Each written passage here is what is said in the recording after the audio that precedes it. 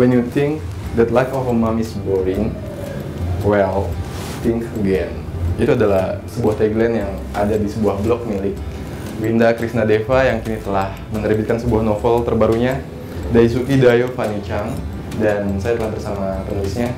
Halo Mbak Winda. Halo. Uh, Mbak Winda kita kita akan ngobrol-ngobrol tentang novel terbarunya ini. Ya. Uh, ini bercerita tentang apa sih novelnya? Ini cerita romans uh, hmm. yang mengangkat kisah dari seorang perempuan muda bernama Fanny yang baru mulai bekerja setelah lulus kuliah perhotelan hmm. gitu. Tapi walaupun ini disebut romans, sebenarnya saya lebih suka ini menyebutkan ini sebagai kisah persahabatan gitu. Hmm. Sebenarnya itu yang diangkat adalah kisah persahabatan gitu. Oke, jadi uh, jadi mengangkat kisah persahabatan dalam novel ini ya. Hmm, kisah persahabatan dan kehidupan masa lalu Fanny dan masa sekarangnya gitu.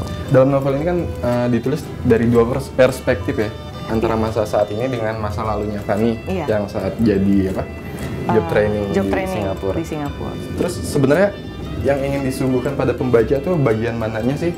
Atau kedua-duanya penting gitu? Iya, uh, saya emang sengaja bikin dua setting waktu yang berbeda dengan dua sudut pandang yang berbeda juga hmm. gitu. Uh, dengan maksud agar nanti pada satu titik di masa sekarang uh, ketemu gitu. Hmm.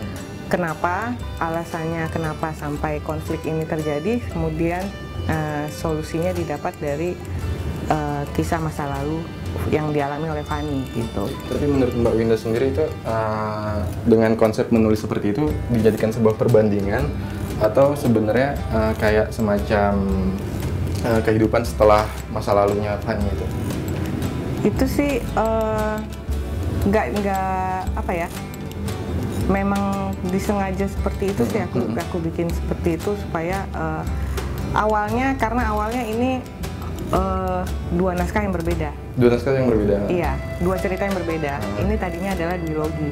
Oke, okay, duologi. Uh, di, dimaksudkan untuk menjadi sebuah untuk menjadi duologi waktu itu waktu saya menulis ini. Jadi keduanya saya tulis memang berbeda uh, sudut pandang. Yang satu memakai sudut pandang orang pertama, yang kedua yang satu lagi memakai sudut pandang orang, orang ketiga. ketiga gitu. Tapi kemudian saya memutuskan untuk menggabungkan keduanya kemudian uh, pihak Mizan juga bilang it's okay kok nggak apa-apa hmm. kalau berbeda gitu toh settingnya juga berbeda setting waktunya berbeda jadi memang gitu oke okay, gitu ini kan sebenarnya awalnya dulu cerita bersambung nggak sih katanya dulu iya nah. dulu pada masanya sempat populer okay. di Kompasiana. Dengan judul yang berbeda ya? Dengan judul yang berbeda. Uh, catatan Sionis. Uh, resepsionis. Resepsionis. Resepsionis, oke. Okay. Uh, terus sampai akhirnya ini menjadi novel, ada nggak sih perubahan besar-besaran dibanding cerita-cerita yang terdahulu dengan saat menjadi novel ini? Banyak banget perubahannya uh -huh. gitu. Karena uh, jujur aja, ini adalah naskah novel uh, pertama yang saya tulis gitu percobaan pertama saya menulis naskah novel itu hmm. adalah hmm. Uh, cerita ini gitu pada tahun 2008 menjelang 2009 okay. kemudian langsung saya posting ke blog kemudian uh, sebagai cerita bersambung lalu kemudian banyak yang ikut ya banyak yang mengikuti nunggu-nunggu sambungannya lanjutannya sehingga hmm. waktu itu prosesnya adalah hari ini mau tayang paginya saya tulis langsung hmm. ditayangkan gitu. Okay, Jadi gitu. benar-benar naskah mentah gitu sebenarnya waktu Ka ada di blog itu waktu zaman dia tayang di blog. Karena cerita bersambung juga Karena kan. Cerita bersambung. Okay. Jadi besok untuk besok pun saya belum tahu kelanjutannya mau seperti apa hmm. gitu. Jadi kemudian pada saat menjadi novel tentu saja udah melalui proses uh, babat sana babat sini hmm. dan dibenahi di mana-mana. Jadi kayak begini ya. Iya. Ini kan novelnya ini bahasa Jepang ya? Enggak dong. Bahasa, bahasa apa sih? Daisuki oh, Dayo Kanicang ya? Judulnya bahasa Jepang. Oke, okay, artinya? Uh, artinya uh, aku cinta kamu Fanny Chang gitu. Oke, okay, aku cinta kamu Fanny Chang. Mm -mm. Um, apa sih yang Mbak Winda ingin berikan gitu kesan dengan judul buku ini? Pilihannya uh, judulnya ini gitu. Awalnya saya tadinya saya mau stick dengan judul lama gitu, mm. resepsionis. Kemudian uh, pihak penerbit bilang uh, coba dicari judul yang lebih uh, universal gitu, hmm. lebih universal. Kemudian yang lebih melambangkan uh, kisah rom yang lebih mengangkat sisi romantisme antara Fanny dan Tanabe, which okay. is dua tokoh utama dalam cerita ini gitu hmm. kan. Akhirnya ya satu-satunya yang bisa saya berikan ya itu judulnya ya, Daisuki Dayo lah itu yang memang paling mendekati gitu Oke. karena itu ada satu kalimat yang sudah lama ingin diungkapkan oleh si Tanabe, Tanabe. ke Fanny Oke, gitu. oke.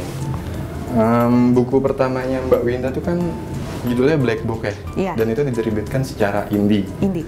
Kalau misalkan menurut Mbak Winda, ada nggak sih perbedaan yang signifikan ketika menulis pertama kali tuh yang di Black Book ini dengan novel-novel yang sekarang?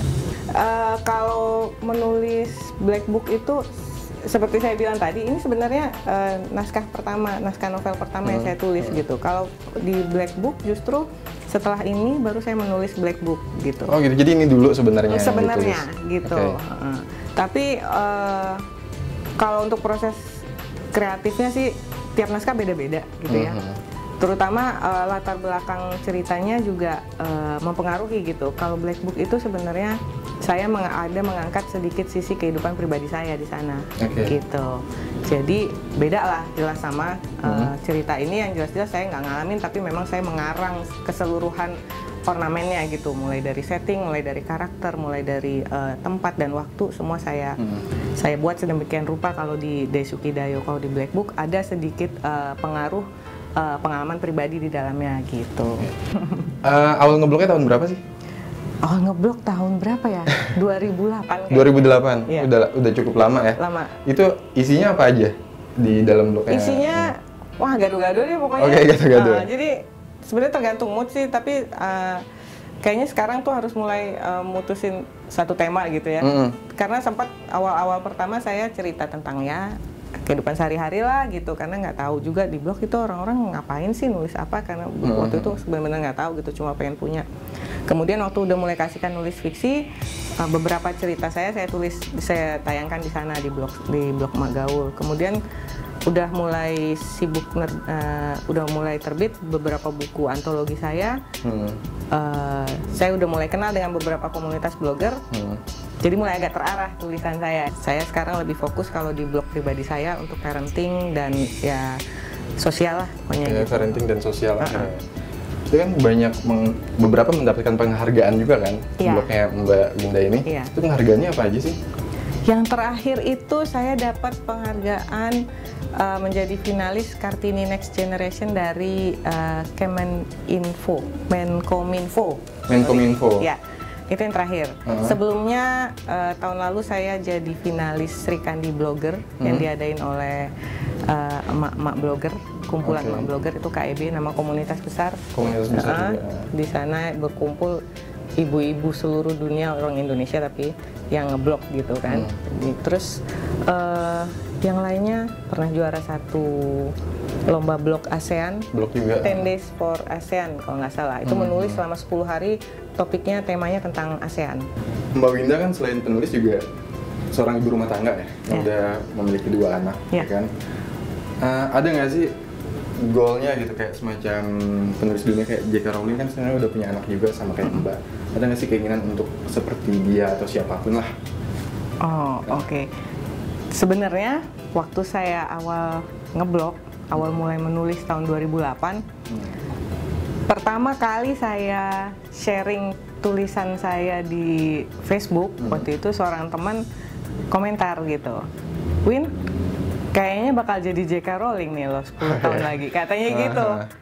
Tapi dari kata-kata itulah semangat saya tuh apa passion saya mulai terbentuk gitu loh Oke. dari sana. Jadi mulai karena ada se- disebut-sebut bakalan jadi J.K. Rowling, wah saya jadi arah saya mulai mulai terarah gitu ke arah Hmm. sana. Oke, gue mau coba tulis novel dulu deh, mau coba nulis fiksi gitu. Hmm. Tapi gimana caranya? Makanya belajar. Jadi mulai tahun 2008 tuh saya mulai aktif uh, mulai rajin nulis, Hmm. mulai rajin cari-cari bahan uh, belajar gitu. Gimana cara nulis fiksi yang benar tuh Hmm. seperti apa gitu. Jadi kalau misalnya untuk ke depannya saya pengen jadi seperti J.K. Rowling, siapa sih yang nggak mau? Iya, iya. Iya nggak sih? Nah, nah. Ya tapi Semuanya kan kenal gitu kan. Iya, bukan masalah kenalnya aja, duitnya juga Iya, lumayan. Tapi sebenarnya yang paling penting adalah uh, dia bahagia mengikuti passionnya. Itu Iya. yang saya pengen gitu. Saya pengen menjadi orang yang bahagia gitu.